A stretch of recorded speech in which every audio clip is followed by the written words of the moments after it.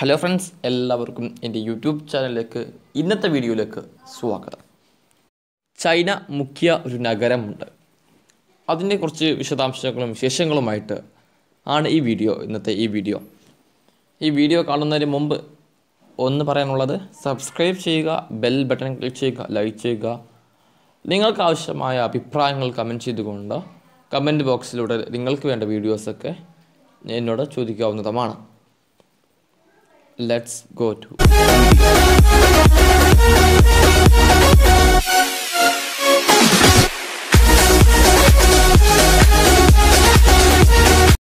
കടലിൽ മുങ്ങിയ പുരാതന നഗരം. നമുക്കറിയാം കടലിൽ മുങ്ങിയ പുരാതന പുരാതന നഗരമായ അറ്റ്ലാന്റിസിനെ കുറിച്ച് നിരവധി കഥകൾ കേട്ടിട്ടുണ്ട്.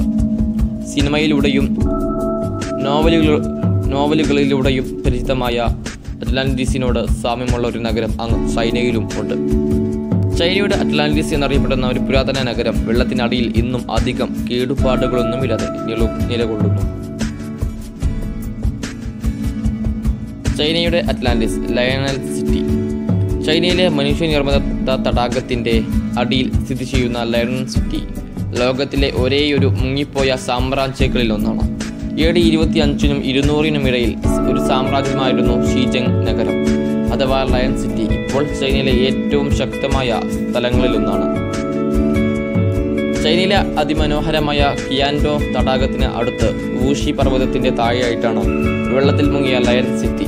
അൻപത് വർഷത്തിലേറെയായി വെള്ളത്തിനടിയിലായിട്ടും നഗരം നഗരം എന്നും കേടുകൂടാതെ നിലനിൽക്കുന്നുവെന്ന് കണ്ടെത്തിയതിനെ തുടർന്ന് രണ്ടായിരത്തി പതിനാലിൽ ഈ സ്ഥലം വിനോദസഞ്ചാരികൾക്കായി ഒരു ഡ്രൈവ് ഡൈവിംഗ് സൈറ്റായി തുറന്നുകൊടുത്തു. ഏകദേശം ആയിരത്തി നാനൂറ് വർഷത്തിലേറെ പഴക്കമുള്ള വസ്തുവിദ്യയുടെയും കൊത്തുപണികളുടെയും നേർക്കാഴ്ചയാണ് വെള്ളത്തിനടിയിൽ മുങ്ങിപ്പോയത്. നഗരം എങ്ങനെയായിരിക്കും മുങ്ങിയത് എന്നുള്ള സംശയം എന്നെപ്പോലെയുള്ള എല്ലാവർക്കും ഉണ്ടായിരിക്കും. നോക്കാം അതിന്റെ വാസ്തുതയിലേക്ക് വാസ്തവത്തിൽ ഈ നഗരം വെള്ളത്തിൽ മുങ്ങിപ്പോയതല്ല മനഃപൂർവം മുക്കിയതാണ്. ആയിരത്തി ആയിരത്തി തൊള്ളായിരത്തി അൻപത്തി ഒൻപതിൽ ചൈനീസ് സർക്കാർ സിൻസാൻ റിവർ ഡാം പ്രോജക്റ്റ് പ്രഖ്യാപിച്ചതോടെയാണ് ഈ നഗരത്തിന്റെ കഷ്ടകാലം തുടങ്ങിയത്. ലയൺ സിറ്റി ഇരിക്കുന്ന പ്രദേശം ഡാം നിർമ്മിക്കാനുള്ള സ്ഥലമായി തിരഞ്ഞെടുത്തു. അങ്ങനെ നൂറ്റാണ്ടുകളായി നഗരം അഭിമാനത്തോടെ നിലകൊണ്ടിരുന്ന തായ്വര വെള്ളത്താൽ നിറഞ്ഞു. നഗരം മുങ്ങി കിയാണ്ടോ തടാകത്തിന് താഴെ നൂറ്റി മുപ്പത്തി ഒന്ന് അടി അഥവാ നാല് നാൽപ്പത് മീറ്റർ ആയത്തിലാണ് ഈ നഗരം കിടക്കുന്നത്. ഇപ്പോൾ ഈ പുരാതന നഗരം ഒരു ഡൈവിംഗ് സ്പോട്ടായി മാറിയിരിക്കുകയാണ്. എന്നാൽ പരിചയസമ്പന്നരായ മുങ്ങൽ വിദഗ്ധരെ മാത്രമേ അതിന് അനുവദിക്കുകയുള്ളൂ. ചരിത്രത്തിലെ ലയനൽ സിറ്റിയെ നമുക്കൊന്ന് പരിചയപ്പെട്ടു നോക്കാം. പതിനാറാം നൂറ്റാണ്ടിലെ വാസ്തുവിദ്യയിലും ശില്പകലയിലും അലങ്കി അലങ്കരിച്ചിരുന്ന ലയൺ സിറ്റി നമുക്ക് പലപ്പോഴും താങ്ങാനാവാത്ത ഭൂതകാലത്തിലേക്കുള്ള ഒരു ജാലകമാണ്. ഈ മനുഷ്യനിർമ്മിത അറ്റ്ലാന്റിസ് ചൈനയുടെ വാസ്തുവിദ്യ കിരീടത്തിലെ ഒരു രത്നമാണ്. മന്ദാരിൻ ഭാഷയിലെ ലയൺ സിറ്റി എന്നർത്ഥമുള്ള ഷീജങ് ഒരു കാലത്ത് സെജിയാങ്ങിലെ രാഷ്ട്രീയത്തിന്റെയും വാണിജ്യത്തിന്റെയും കേന്ദ്രമായിരുന്നു അത്. ചൈനയിൽ ഏറ്റവും കൂടുതൽ ദ്വീപുകൾ ഉള്ള ഒരു പ്രവിശ്യയായിരുന്നു ഇത്.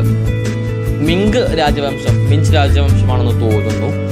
ആയിരത്തി മുന്നൂറ്റി അറുപത്തി എട്ട് മുതൽ ആയിരത്തി അറുന്നൂറ്റി നാൽപ്പത്തിനാല് വരെ ചൈന ഭരിച്ചിരുന്ന കാലത്താണ് നഗരം അഭിവൃദ്ധി പ്രാപിച്ചത്. നഗര മതിലുകൾ പതിനാറാം നൂറ്റാണ്ടിലേതാണ്. ഈ അണ്ടർ വാട്ടർ സിറ്റിയിലെ വിശാലമായ തെരുവുകളും ഇരുപത്തി ഇരുന്നൂറ്റി അറുപത്തി അഞ്ച് കമാന പാതകളുമുണ്ട് ഇവിടെ. ശരിക്കും ലയൺ സിറ്റിക്ക് അഞ്ച് കവാടങ്ങളും അഞ്ച് ഗോപുരങ്ങളും ഉണ്ട് ഇത് അറുപത്തിരണ്ട് ഫുട്ബോൾ മൈതാനങ്ങളുടെ അത്ര വലുതാണ്. കല്ലുകളും പാതാക കല്ലുകളും കൊണ്ട് നിർമ്മിച്ച ആറ് തെരുവുകളാണ് അണ്ടർ വാട്ടർ സിറ്റിയിലുള്ളത്. ഈ തെരുവുകൾ ആ ടൗൺഷിപ്പിനെ മുഴുവൻ ബന്ധിപ്പിക്കുന്നു. ഇതുപോലെ നിഗൂഢതവും ആശ്ചര്യവും അതേപോലെ സത്യങ്ങളും തെളിഞ്ഞിട്ടുള്ള വീഡിയോകൾക്കായി ഈ ചാനൽ സബ്സ്ക്രൈബ് ചെയ്യാൻ മറക്കരുത്. ലൈക്ക് ചെയ്യുക സബ്സ്ക്രൈബ് ചെയ്യുക ബെൽ ബട്ടൺ ക്ലിക്ക് ചെയ്ത് വെക്കുക. മറ്റൊരു വീഡിയോയുമായിട്ട് വീണ്ടും കാണുന്നതുവരെ എല്ലാവർക്കും നന്ദി നമസ്കാരം. Good bye. Giving, that's how we live it. Don't be mad at the system, it's simply how we've existed. I hear a lot of people talking like they politicians and choose to be.